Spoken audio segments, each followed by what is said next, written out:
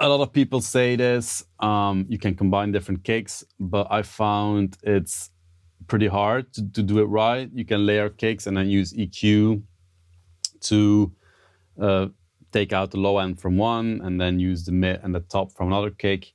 But I found a lot of the times it sounds, um, it's hard to do it right and it sounds, most of the time it sounds just weird. And the reason for that is that if the kicks you're layering are not tuned in a similar way, they will start phasing out frequencies and then you need to EQ at the perfect point and that just makes it a pain in the ass. So usually what I did was I just grabbed the kick that I like and then I layered it with a top kick um, to change the sound a little bit because of course if you use like for example the Mark Knight kick you want to like change it up a little bit now and then you don't want to use it like the same kick uh, all of the time but um, a nice way to do it or a nice tool to do it is a plugin that's called Trackspacer.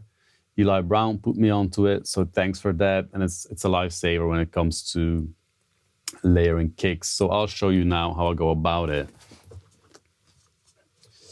For example, if we wanna layer this one and the other one, I selected this one.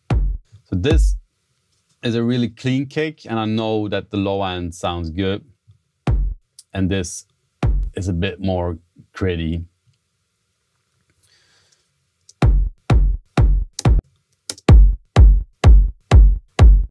They actually sound quite well together. So that's nice and easy, but let's see if we try maybe take this one.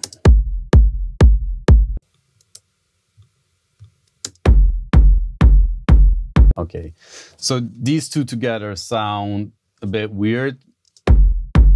If you want to use EQ to separate them, you can always, uh, first thing you can try and do is uh, transposing them a little bit or detuning them a little bit to see if you can get them sounding good together. And if they sound good together without EQ, then you're probably going to have an easy time uh, EQing them.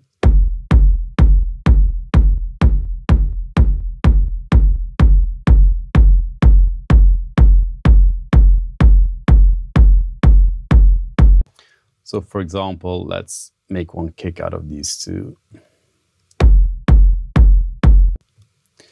I know um, the Eli Brown one sounds good, so I'm going to use that as my main kick.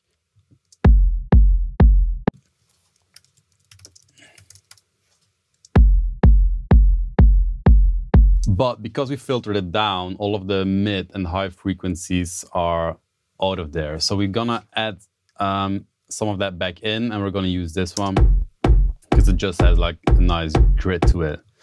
And I'll do this one with the EQ. So I'm calling this mid kick or something like that. And I'm to use FabFilter.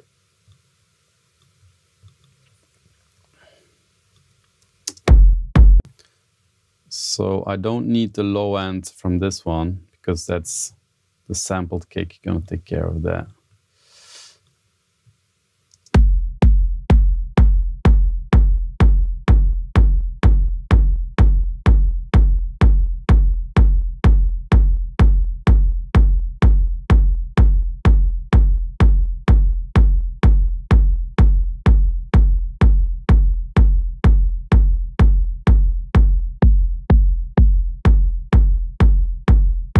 Can maybe take a little bit more of the low end out.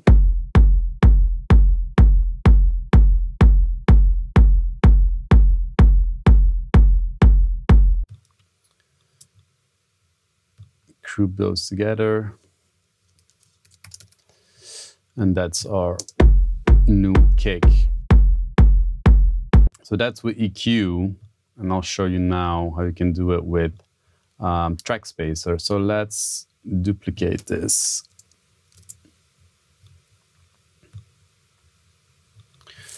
Can get rid of this.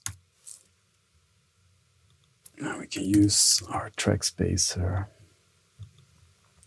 So this is something like a combination of EQ and sidechain. Um, you can select an input.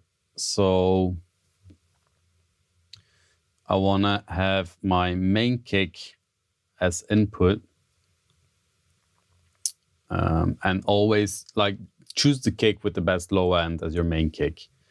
And then I can oops, use a Trackspacer. Um, it works like a side chain. You can set the amount, but it's like automatic EQing. So it analyzes the spectrum from the main kick from of, or whichever element you set as your side chain. And it will start ducking when it's playing. And you can set the amount with this dial. So if I turn it all the way up, we just hear the sampled kick and then I can dial in the amount of frequencies from our layer.